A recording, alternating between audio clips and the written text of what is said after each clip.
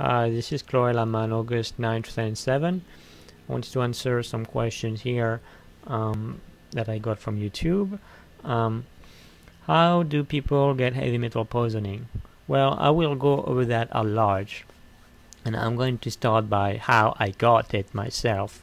Um, well, it's a matter of fact, I don't really know. I can only speculate how I got heavy metal poisoning. After the doctors told me, hey, you have a very high level of aluminum in your blood and your urine, very high level of mercury in your blood and your urine, a significant level of lead, some trace of arsenic, and some other heavy metals that I don't even remember the name. They are not as common and they are not as uh, toxic as the first three lead, mercury, and aluminum.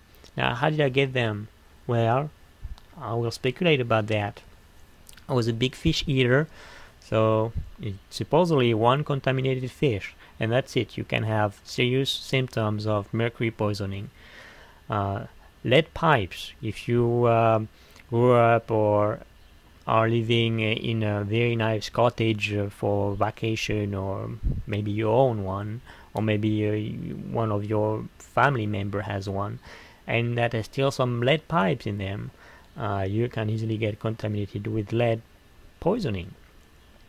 Uh, for the aluminum um, if you go with food uh, if you drink out of out of soda can or out of a, a, a conserve those are made of aluminum cans um, on top of that, if you cook with a non-sticky pan with some special covering such as Tefal, just to name the most popular one, the most non-sticky pan are actually uh, covered with aluminum. So once they get old or once they get scraped by the fork or any kind of utensils, they actually contaminate the food that is being cooked with them.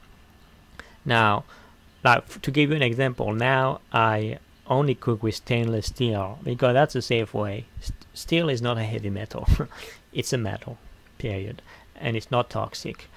Uh, I I, um, I would recommend when you use Tefal, just make sure it's a brand new pan and you only use like wood with it or plastic um, uh, plastic wares.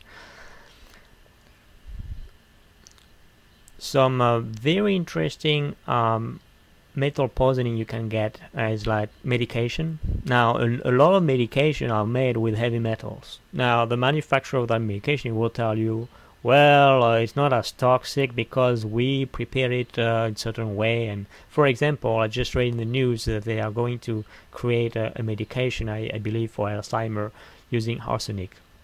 Now, arsenic is a heavy metal and it's extremely toxic.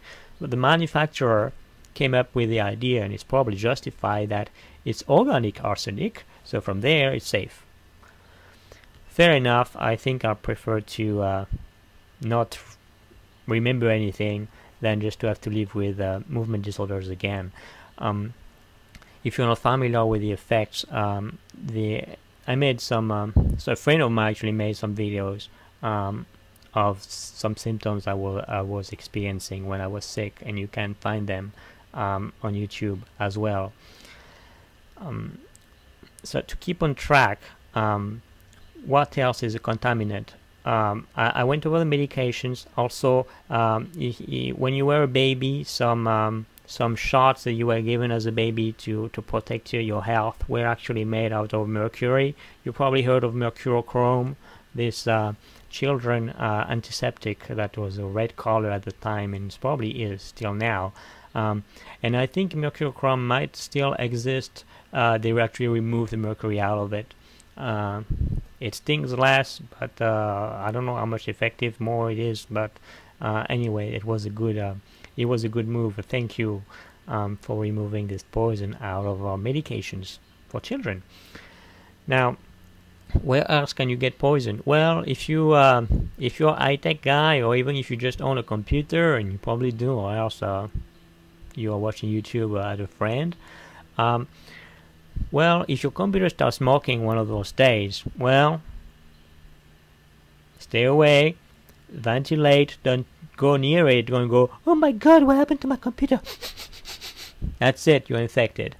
um, yes, stay away from the fumes. Uh, the fumes will contain aluminum, mercury, uh, arsenic, you name it. It's uh, a lot more compound than even in cigarettes. Um, uh, all kind of um, uh, you know computers are designed to, to work, not to smoke. So when they fry, uh, when they fry, only touch them if you have to open them or, or if you try to figure them out with gloves, plastic gloves, and also put a mask over your head. And I'm not kidding. And uh, the best way would actually if you you would go out, except if it's snowing and it's a blizzard. Um, but that's really the way to go. It's extremely toxic. Uh, um, really ventilate uh, everything, and um, and good luck. Um, now I talked about computers because it's obvious when they smoke, but now you have all kind of smaller device, uh, cell phones, uh, um, digital cameras, you name it, uh, VCRs, DVDs, you name it, in your car, everywhere, fuses blowing, everything. so when something is not it stops functioning don't take it apart and don't take a look if it's a battery that leaked oh thanks god it's just a battery that leaked well no the batteries are also extremely toxic. Even the battery that's a mercury free if you really read in between the line it will tell you that there is mercury in them. Yes i know. How are they going to call the really mercury free batteries? Maybe in some days. Now the button batteries are even more toxic. Of course in the old ages thermometers were made out of mercury so if you still have one of those at home and it breaks well make sure um, make sure that uh, the mercury is not being touched neither by animals children or anyone and that it's being um, put away safely and doesn't mean to put it in the trash can so someone else is gonna get it. You just you just go and recycle it the proper way which I don't know what it is to tell you the truth. Uh, but I would just take it to the pharmacist. Um, now um, some other ways to get contaminated um, is uh, well um, contaminated water um, unfortunately uh, if you go swim uh, in a lake or um, or maybe also uh, artificial lakes or, or rivers um, what used to happen is that hunters were using in the past a lot of lead cartridges um, and so um, that's how the fish got contaminated in the first place they would swallow those little um, little tiny bullets contained in cartridges and thinking it's plankton or something that is going to be good for them. And so, of course, they will get uh, sick out of the lead and they will be easier to catch, and so they will easily end up in a plate. And that's how you can. It's like a it's like a cycle. It's a it's a, it's like an evolution cycle. How uh, toxic uh, fish uh, get actually caught faster and uh, easier easily and they end up in the plate more than likely uh, if you go with farm fish like farm salmon even worse uh, for some reason the water they use is actually most most of them is contaminated water. So you if you really love fish stay away from river fish uh, stay away from farm fish. Um, if you really have to eat fish you, you eat uh, something coming out the ocean. Um, like something you know is is really um, caught at large. Well, uh, also if you have an older car or if you used to drive an older car, um, and uh, well, I'm looking at the time here.